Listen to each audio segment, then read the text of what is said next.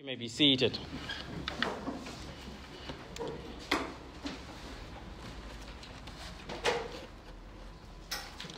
And in your copy of God's Word, then this morning, let's return to First Thessalonians chapter 1. First Thessalonians chapter 1.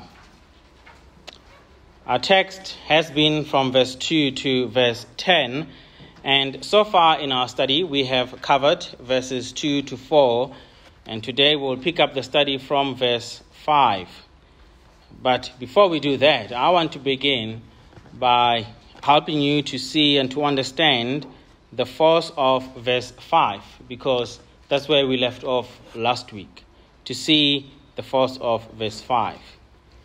In verse 5, you will see that conjunction because or the phrase for is clear to see and it answers the how we know of verse 4. Remember, in verse 4 we looked at last week, Paul says, We know that you are loved by God, and we know for sure that you are elected by God. Because that's how verse 5 begins. This is why what Paul says. We know that you are loved and elected because of the following. But I want to challenge you then and ask you is it the how we know that you are loved and elected, both of them? Or does Paul only emphasize election? Does he say, I know that you are loved and elected because of this? Or, if you look at verse 4, knowing, brethren, beloved by God, his choice for you or your election. We know of your election because is it only pulling and emphasizing the election part or the loved and elected together? And I take it to answer the how of the election primarily, not only. Because that election encompasses the love. You are loved, elected, elected, loved. The elected are the loved and the beloved, but I believe that the Apostle Paul zooms in on the election that we see at the end of verse 4 while not excluding the love aspect. But he's going to emphasize election. And last week I equipped you then, and even the first time we started studying, with tools to enrich you in your Bible studying. And I want to aid you uh, with more tools uh, as we study today's text and next week and the following weeks, Lord willing. But one of the tools then to give you this morning to help you to understand the text better is to understand the author's style of writing. Because the biblical authors don't all write the same, they have different styles. And if you understand the style of the author, it makes it easy for you to understand the logic and the meaning. And if you if you get that and get into grips with how the author reasons. You will get much from the author. In fact, I want you to hear what Paul says. If you turn to Second Thessalonians, the last chapter, and verse 17, just 10, two pages or so, you'll see that this is something Paul talks about in Second Thessalonians chapter 3, verse 17 Paul says, I, Paul, write this greeting with my own hand. And this is a distinguishing mark in every letter of mine. That is the implication. And then he says, This is the way I write. So Paul says, I want you to know how I write. Because there were fake letters that were sent, letters claiming to be from the apostles and they were troubling the church, and the church was troubled when Paul wrote Second Thessalonians. But Paul says to them, But you know how I write. So even if somebody brings a letter and says it comes from Paul, you should know from the way this letter is written that this isn't me. And so if you know Paul, and if you know any other author, it helps you to understand how they write. You can go back to First Thessalonians then. But the same applies to the preachers of the gospel as we preach uh, from the pulpit. If you understand the preacher's preaching style, you will get more out of it. And here at the church, a few years ago, when we were studying the core values of our church, I taught that we have essentially two types of thinkers in the congregation uh, those who are wired to think descriptively and those who are wired to think prescriptively. Well, God has blessed me with a descriptive wife, and I'm wired as a prescriptive thinker. And the same applies to our children. Tigva is prescriptive, Warona is descriptive. But we can still live in harmony which is the amazing, beautiful thing about this. Even though we may be different, we can live together. And the same applies here at the church. There are those who think prescriptively and those who think descriptively. And then preachers also preach the way they are wired. And so we have to understand all of those things. But I will not get into the details of all of that. Um, if you want to study uh, that sermon, I can give you the sermon that I preached uh, a while ago. And as I said, it comes from the core values of our, of our church on logic and reason. But this means then that you will have to primarily understand us as we preach. And we also have to understand you, the audience, as we prepare to preach to you, uh, so that we may get much from the sermon. But now, as a prescriptive uh, teacher then or preacher, one of the things to know about me, to understand me as you listen to my sermons, is to understand that I'm, I'm not a big picture thinking type person. And I have respect for people who are able to do that. When I think about a text, I, I, of course, we should have the big picture of the whole Bible, the whole story of redemption, because it's important to know and see how redemptive story unfolds as you study your text. You have to see how it is well knit. You have to see how it is cohesive, even if you get stuck in a text somewhere. You have to know what is this text doing here and how does it fit with the rest of the story of redemption. But I zoom in on the details, but I still have to understand what the story is.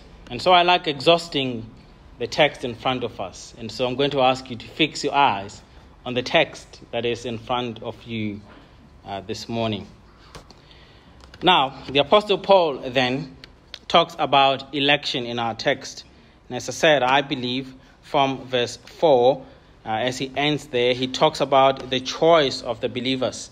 And then he talks about election. He says, I know that God has chosen you I know that God has elected you. And we saw last week that this choosing or this election is election for salvation.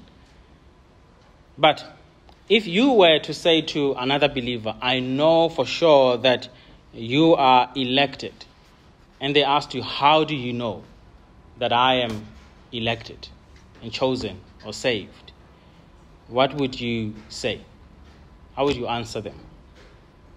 Well, Paul has given us some evidences of grace to testify to, or that testify to the professed salvation uh, that we have already seen. But in our text this morning, verses 5 to 7, we won't get to verse 7, but verse 5 to verse 7, he gives us three ways to know that you are elected. So if you want to know whether you are elected, there are three ways to know whether you are elected. And once you know this, and once we see this in the text, this should cause us to thank God because we still have not moved away from what Paul wants us to do in verse 2. He says, We give thanks to God always for you, and he gives thanks for all the things that are done beneath verse 2 to verse 10. And so today he zooms in on, on election then. Three ways to know that you are elected so that you may give thanks to God for the gospel that has saved you. The first way to know is how the gospel came to you in verse 5. If you look at verse 5, Paul says, We know for sure that you're elected because of how the gospel came. It came not in word only, but in power, in the Holy Spirit, and with full assurance.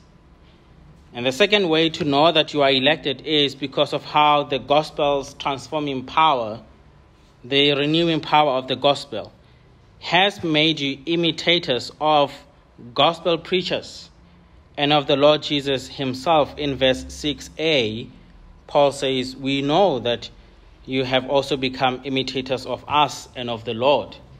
And that further solidifies our knowledge or our conviction that you are elected and saved. And then lastly, we know that you are elected because of how you accepted the gospel.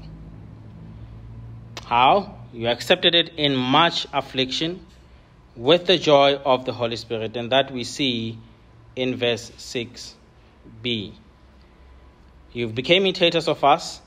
You have, have received the word of the Lord in much tribulation with the joy of the Holy Spirit. And because of how you accepted it, then we know you are elected.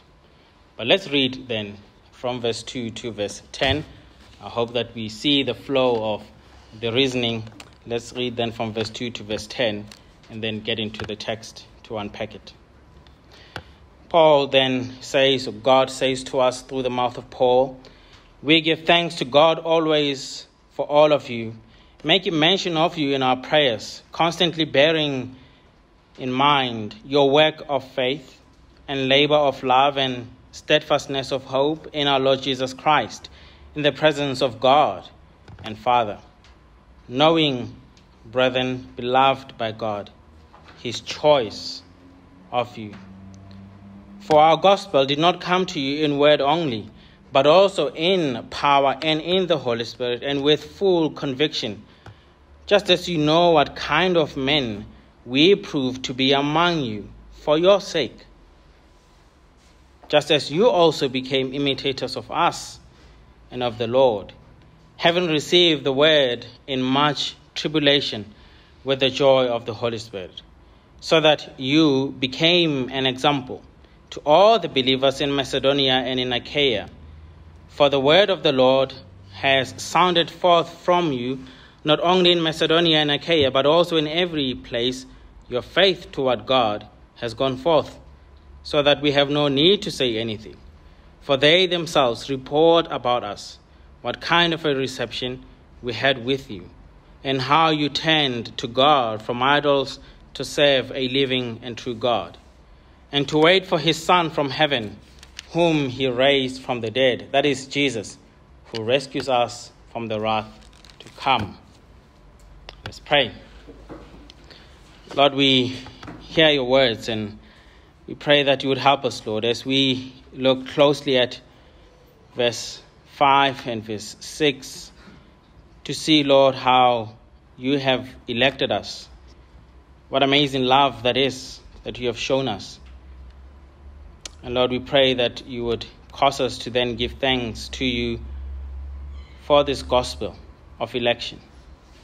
And that ultimately, Lord, as we see in the passage, that you would make us, uh, make us examples to other believers to observe our conduct and how, Lord, we serve you as true believers. We ask that you, by your Spirit, then illumine um, your word, our minds, and help us to grasp the truths of your word and write these eternal truths on our hearts to the young and the old. In Jesus' name. Amen. This is a really easy to understand text. I hope that you uh, believe uh, the same because the, the flow and the logic is easy, as I tried my best to explain.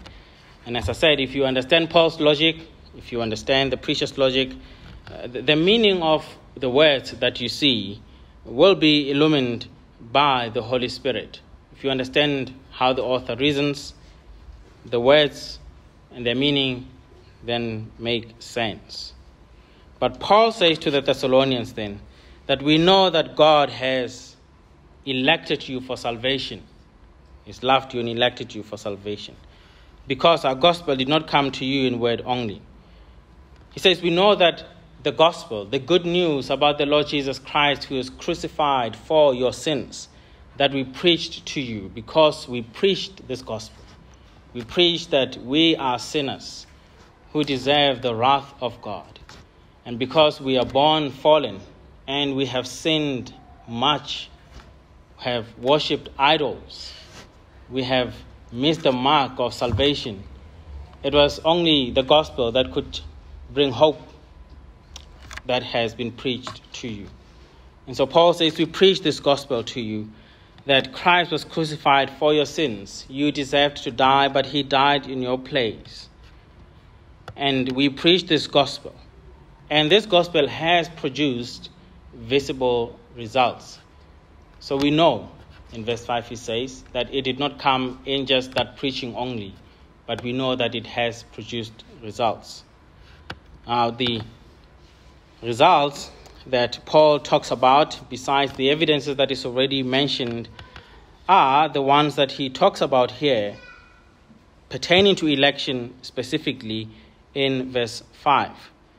He says the first is that it came in power. That is the first evidence of the gospel or to know that you are elected because the gospel came to you in power and it came in the Holy Spirit with full assurance. Those three show us that you are elected. Now, the question then to ask yourself or to jot down if you're taking notes to think about is this. When the Apostle Paul talks about these three, you have to ask yourself where the power, the Holy Spirit, and the assurance seen in the Thessalonians for Paul to say, We know that you're elected because we see faith uh, because we see the, the, the power of the, of the Holy Spirit at work and we see your conviction? And if so, can you identify those in context? Or where the power that Paul is talking about, the Holy Spirit, and conviction seen in Paul, Timothy, and Silvanus. And in that way, then Paul knows that the believers are elected. And if you say that they are seen in Paul, Timothy, and Silvanus, uh, how so? How do we see the power, the Holy Spirit, and conviction in either of them, if you were to pick one? Well, I believe that it was in Paul and his companions. And let me show you in the text again why I believe that the power, Holy Spirit, full conviction, that Paul talks about to say that he knows that you are chosen, that we have to say, I know that you're chosen this morning, should be seen in those who brought the message. Let me show you from the text. And again, as I said um, two weeks ago, the, the ESV and the NIV, unfortunately, don't help us again in this text to understand here. But if you have texts like the, the New King James, translations like the New King James, the New American Standard Bible or some translations, you will see help that is given there for you. After that phrase, if you look at that phrase in verse 5, with full assurance, because he ends with that, he says, We know that the gospel did not come in word only, but also in power and in the Holy Spirit with full conviction.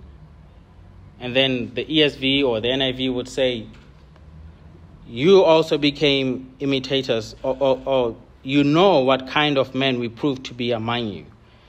But there's a phrase that is dropped out, which is important. And the phrase is the phrase just as. And so if you are bold enough, you can add it in your translation that after the full conviction, there should be just as you know what kind of men we prove to be among you for your sake. And if you add the phrase just as, which I, I, I uh, hope that it wasn't dropped, but if it had not been dropped, then the, the verse or the flow from verse 4 would read as follows. And here would be the logic then. And think of just as, as in, as in your Bible.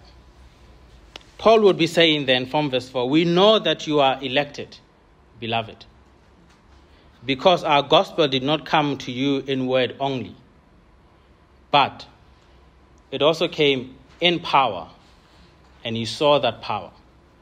It also came in the Holy Spirit, and Brighton will wake up and hear the rest of what's happening here. It came in the Holy Spirit, he says. And then with full assurance. And then just as. So those three, just as you saw them in us. That's what Paul would be saying. So that phrase, just as you know what kind of men we prove to be among you for your sake. We prove to be men who did not just bring the, the word, the gospel in word only, but we brought it in power, in the Holy Spirit, and with full assurance. And that is what you imitated then in the next verse. That's how the next verse would make sense if you follow the logic. But it still goes both ways.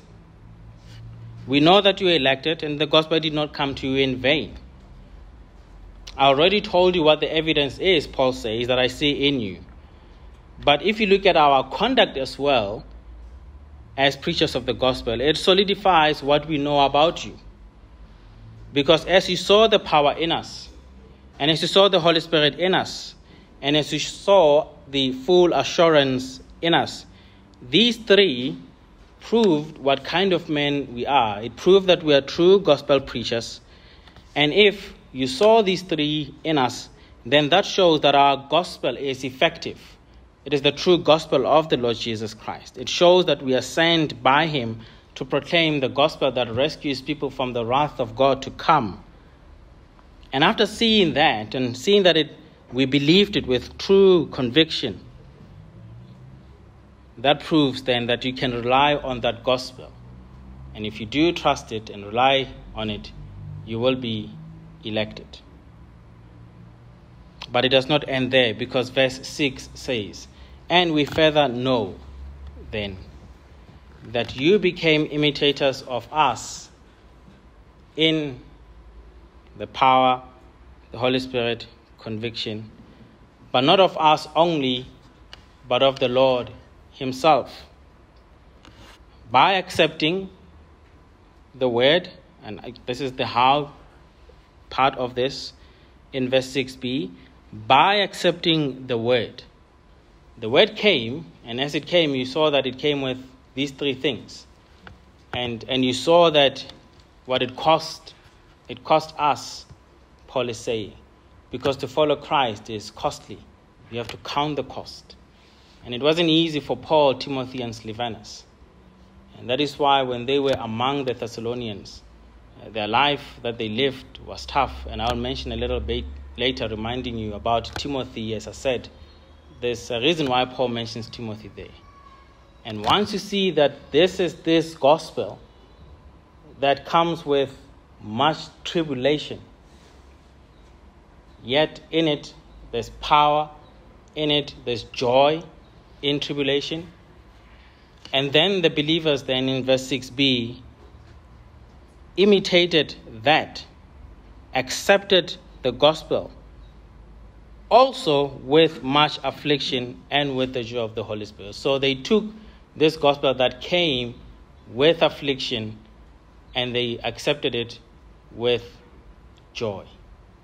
And that joy is the joy of the Holy Spirit. And so Paul is saying, You saw the power in us, you saw the Holy Spirit in us, you saw full conviction. They prove what kind of men we are. And you imitated that. Meaning, as you saw and heard the word of God, you saw and heard its power. Because the power lies in the message about the crucified Christ, who's able to turn hearts of stone into hearts of flesh to give people eternal life and to rescue people from the wrath to come. You accepted that gospel. That's the power of the gospel with the Holy Spirit and full conviction, and you imitated us. And by so imitating us, you imitated the Lord Jesus Christ. Because we imitate Christ, we don't come to you and expect you to imitate us if you don't imitate the Lord. We imitate the Lord. And for that, God must be thanked. And this is the Lord who suffered Because the gospel that Paul preached is the gospel of the Lord who suffered for the gospel.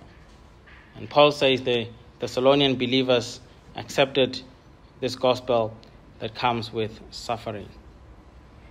And now that these things are things that we see, that we should see in a believer to say whether the believer is elected or saved, as it were. That should be seen in you if you are elected.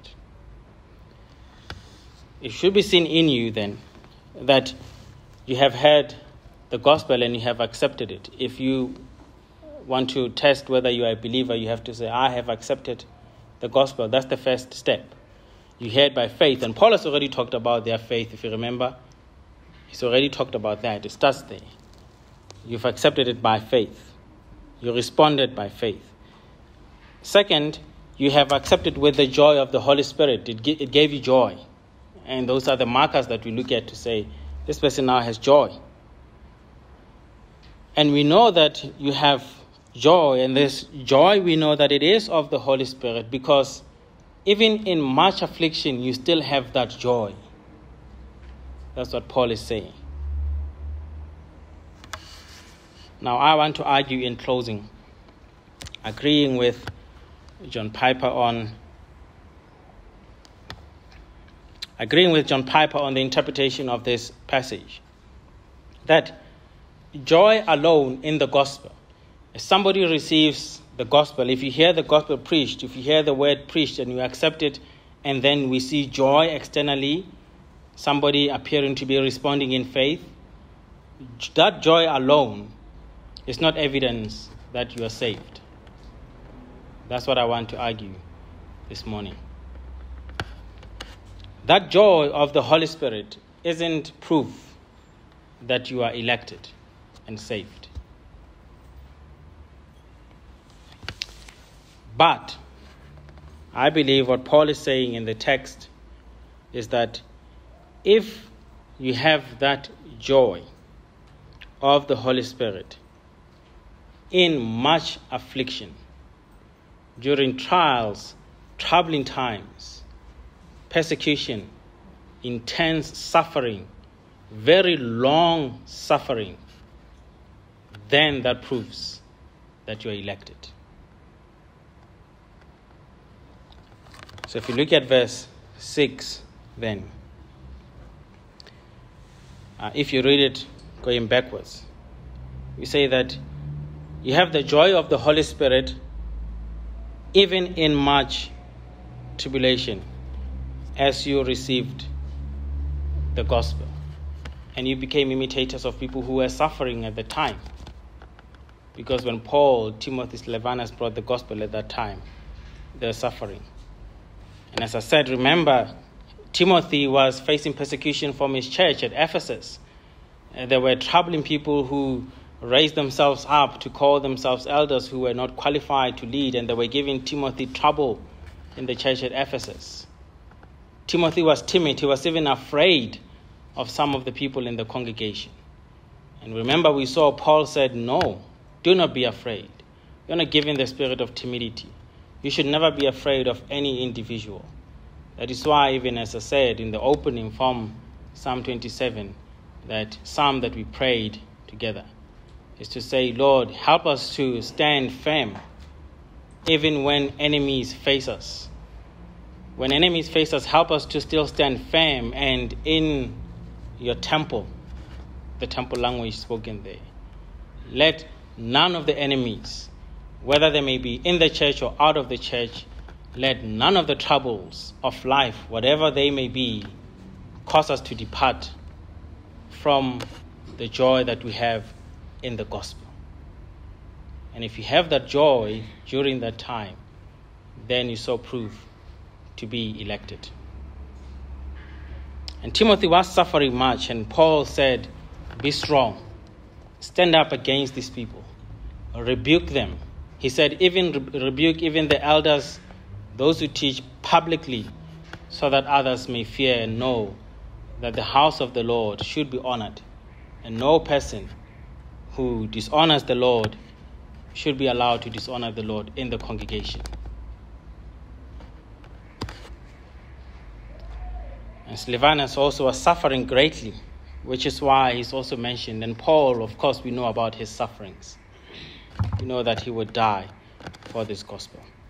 But I want to end here today and next week, then, spend all of next week's sermon focusing on how, if I say that I believe the text says joy in suffering proves that you are elected, I want to spend time next week looking just at that, to go deeper into that, to see how joy in suffering proves whether you are elected or not, and how it shows that God's power is at work in you. And how it shows that you are truly saved. And that you have assurance as a believer.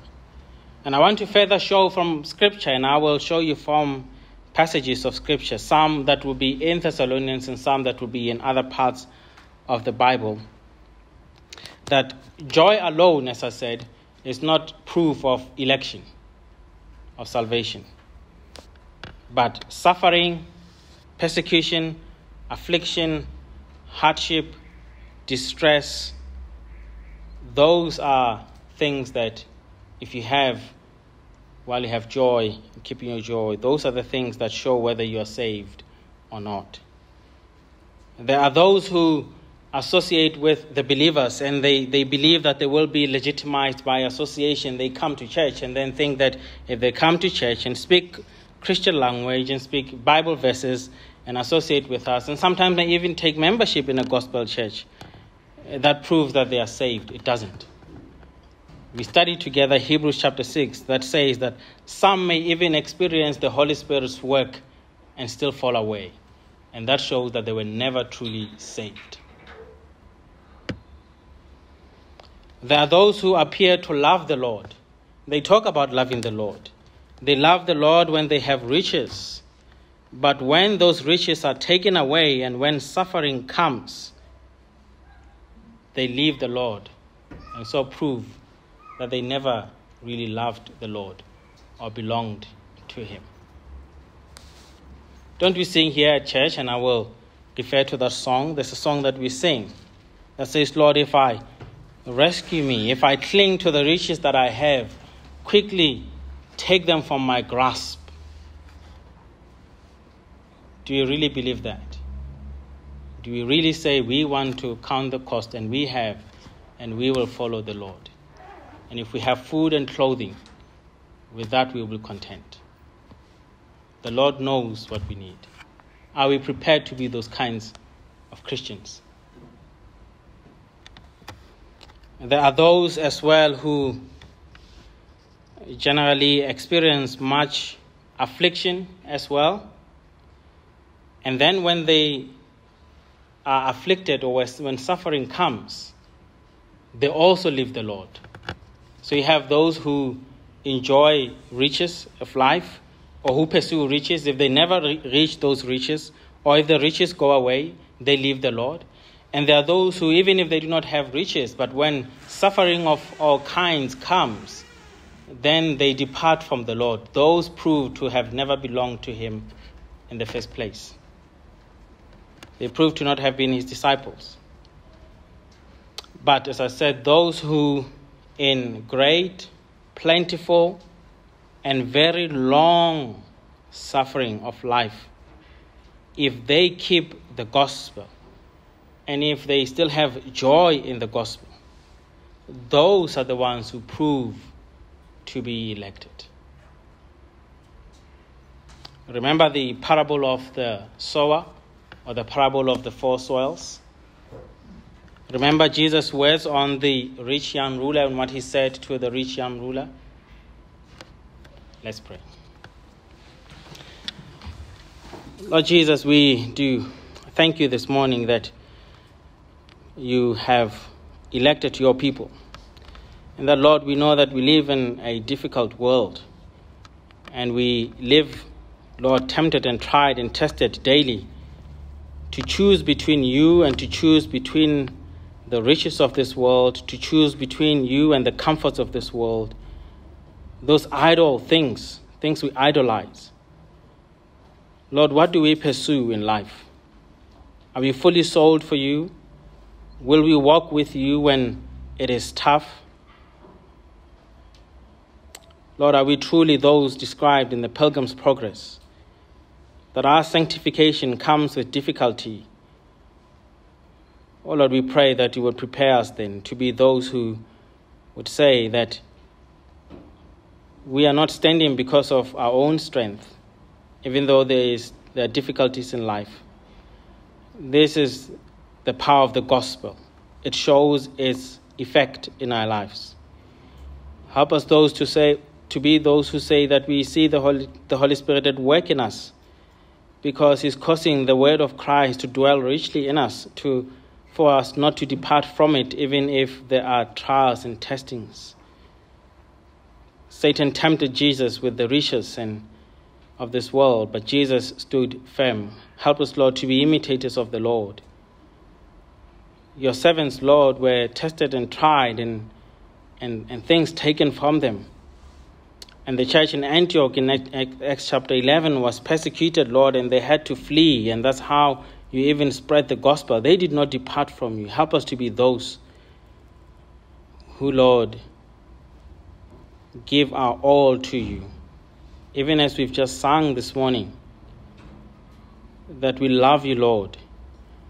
You are, you are all and the best and all we need. And so we pray, Lord, that you would help us to know, even if we have riches, how to use them to advance the kingdom. Because it is true what we sing that, Lord, you do not count how much we give, but, Lord, you look at how much we keep. If, Lord, we give little to you and keep much for ourselves, help us, Lord, to be rescued and to give our all to you, to be sold fully for Christ. Lord, help us to serve you in spirit and in truth, knowing, Lord, that if we do not, there will be wrath to come. And Lord, we want to be those who will escape the wrath because we will not be able to withstand your just fury, your just wrath poured on us but help us, Lord, to trust in Christ who has absorbed the full wrath of God. And help us to trust in Him, Lord, until you return, even though this journey may be tough and long. In Jesus' name, Amen.